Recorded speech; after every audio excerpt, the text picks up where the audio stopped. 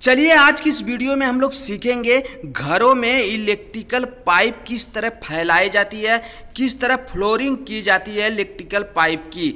दोस्तों, जैसे कि यहाँ पर आप लोग देख सकते हैं, एक एक इंच की पाइप है। इसे हम आप लोगों को हाफ़ सेट मारना सिखाएँगे। किस तरह हाफ़ सेट मारा जाता है, कैसे पाइप को बैंड किया जाता है। मैं हूँ शंकर यादव और आप लोग देख रहे हैं अपना YouTube channel Shankar Yadav official. जो लोग नए हमारे चैनल को सब्सक्राइब कर लें। बेलाइकन घंटी को ऑल कर दें ऐसी नई नई वीडियो देखने के लिए।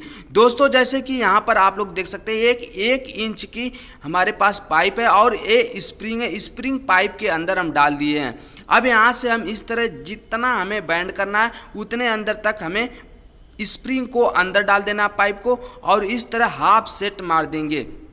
यह एल टाइप का हाफ़ सेट है और इस तरह स्प्रिंग को वापस हम बाहर निकाल लेंगे। तो चलिए, अब यहाँ पर हाफ़ सेट मार दिए हैं, आप लोग देख सकते हैं। अब यहाँ से हम मेजर कर लेंगे पाइप को। कितना पाइप को हमें रखना है और कितना काटना है, ये सारी जानकारी आप लोगों को पूरी वीडियो में मिलेगी। अब यहाँ पर हमारी पाइप यहाँ पर ज्वाइन करेंगे। पाइप को किस तरह ज्वाइन करते हैं, किस तरह मेजर करके काटते हैं तो यहाँ पर कपलिंग ऑलरेडी लगी हुई है। अब यहाँ पर हम इसे काट लेंगे। काटने के बाद अब यहाँ पर हम कपलिंग से इसे जोड़ेंगे। अब यहाँ पर पाइप को हम काट दिए हैं। ये जो तार है, ये ऑलरेडी हम पहले से इसमें डाल के रखे हुए हैं, क्योंकि जब भी पाइप की ऊपर स्लेब का ढलैया होगा, तब इसमें जाम न हो जाए या फिर तार न पास हो तो इसके लिए हम पहले से ऑलरेडी इसमें तार डाल दिए हैं। आप लोग देख सकते हैं, एक एक इंच का कपलिंग है। अब इस कपलिंग को पहले हम इस तरह जो हमारी एक इंच की पाइप है, यानी 25 एम mm की पाइप और 20 एम mm की पाइप, दोनों को हम आप लोगों को पाइप ज्वाइन करना बताएँगे किस तरह इलेक्ट्रिकल पाइप को ज्वाइन करते हैं। अब यहाँ पर हम, ये जो है, गम है और इसे हम यहाँ पर लगाएँगे। ये केमिकल एक तरफ़ से होता है और इसे यहाँ पर इस तरह जोड़ देंगे, पाइप यहाँ से हिलेगा नहीं। अब इसके बाद जो ये हार्ड वाला वायर है, इस पाइप में हम डाल के उस साइड निकाल लेंगे। इसी तरह जितने भी यहाँ पर पाइप लगी हुई हैं, सारे पाइप को हाफ़ सेट मारेंगे एल टाइप में। हाफ़ सेट मारने के लिए आपको 20 एम mm की पाइप जो होती है, उसमें 20 एम mm की ही 20 एम mm का स्प्रिंग लगेगा और 25 एम mm का पाइप में 25 एम mm का स्प्रिंग लगेगा। तो चलिए अब यहाँ पर जो है, उस साइड से हम खींच लेते हैं वायर को। वायर को खींचने के बाद सारे पाइप को इस तरह हाफ़ सेट मारने के बाद हम सडल मारेंगे। अब यहाँ पर जो है पाइप को अच्छे तरह से सुलेशन लगा के अच्छे तरह से हम यहाँ पर इस तरह राउंड मार देंगे। और जो हमारी पाइप है, उसके मुँह पे हमें बराबर टेप मारना है, क्योंकि इसके अंदर कुछ भी मतलब सीमेंट, बालू कुछ भी इसके अंदर न जाए। इसी तरह जितने भी पाइपें हैं, सारे पाइपों को हम एल टाइप मार लेंगे। ये हमारे मेन डिब्बी मेन हमारा जो है, डिब्बी है ड्रेसिंग जहाँ पर होगा, वहाँ पर ये पाइप जाएगी। अब ये पाइप को हम अच्छे तरह से यहाँ पर सडल मार लेंगे। और सडल मारने के बाद जो है, पट्टी मारेंगे। सडल एक इंच का और पौने का सडल आता है, लेकिन यहाँ पर एलमिनियम पट्टी हम मारेंगे। एलमिनियम पट्टी को आप चाहे जितना बढ़ा सकते हैं।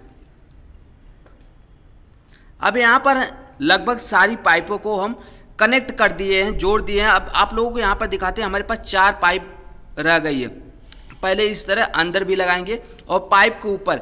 ये ऑलरेडी जो हमारी पाइप है, पाइप के अंदर कपलिंग है और इस तरह हम अच्छे तरह से इसमें बैठा देंगे।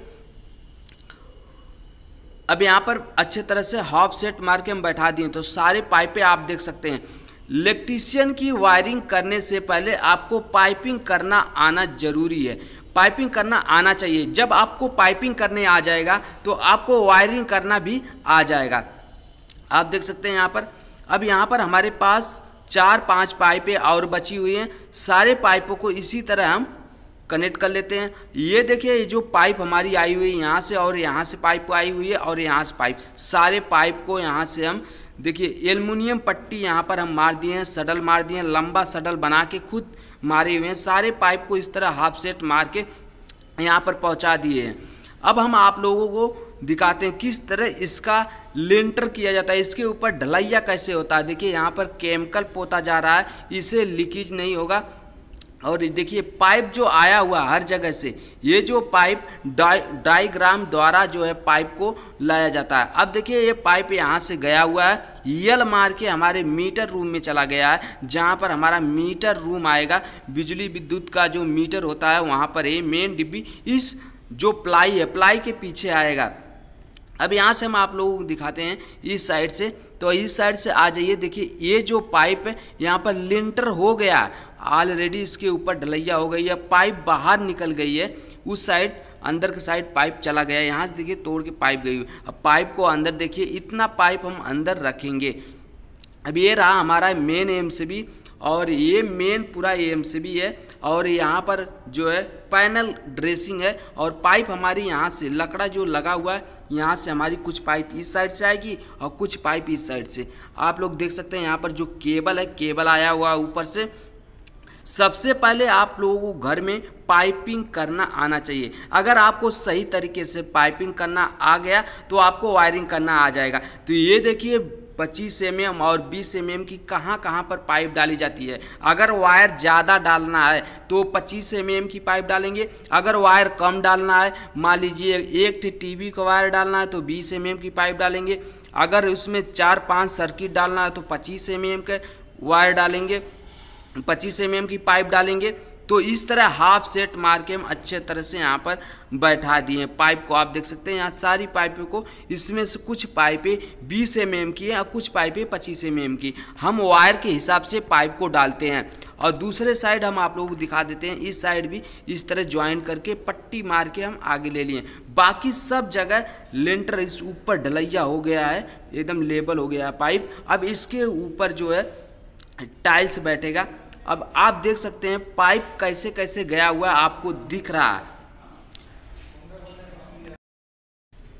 अगर आप भी अपने घरों में फ्लोरिंग करना चाहते हैं या दीवार में कटिंग करके पाइप डालना चाहते हैं, इस तरह तो आप आसानी से इस वीडियो को देखने के बाद आप आसानी से कर सकते हैं। आपको बैंड की ज़रूरत नहीं पड़ेगी। आप इसी तरह स्प्रिंग से हाफ़ सेट मार सकते हैं और पाइपिंग कर सकते हैं। आप देख सकते हैं यहाँ पर थोड़ा सी झर्री मार के यहाँ पर पाइपिंग डाल दिया गया और यहाँ पर पाइपिंग डाल दिया गया। नीचे से जो है, कितने वायर आने वाले हैं? टेलीफोन का और कैट सिक्स का, टीवी का, उसके बाद गीजर का, उसके बाद एसी का उसके बाद सर्किट प्लग पॉइंट का, फिर उसके बाद एकवा गार्ड का मतलब टोटल जितने भी गीजर हैं, गीजर के सब अलग अलग सेपरेट पॉइंट रहेंगे।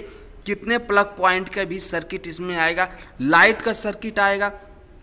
और आप देख सकते हैं यहाँ से इस तरह पाइप दिख रही है, और ये भी पाइप गई हुई है, और वहाँ पर पाइप ऊपर हल्का हल्का दिख रही है। लेबल से पाइप ऊपर हो गई है, कोई बात नहीं।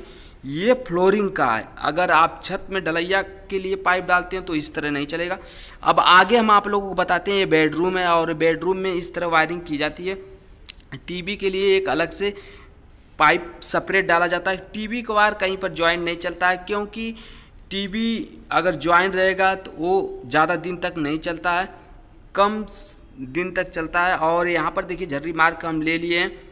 तो आप लोगों को पूरे विस्तार से हम बता दिए हैं कि जो घर के अंदर फ्लोरिंग में पाइपिंग किस तरह की जाती है, लगभग आप एक दो पाइप एक्स्ट्रा डाल के रखें। जैसे कि यहाँ पर आप देख सकते हैं, हम दो पाइपें एक्स्ट्रा डाल के रखे हुए हैं। तो आप लोगों को ये वीडियो कैसा लगा कमेंट बॉक्स में कमेंट करके बताइएगा। और जो लोग नए हमारे चैनल को सब्सक्राइब कर लें, बेल आइकन घंटी को ऑल कर दें इसी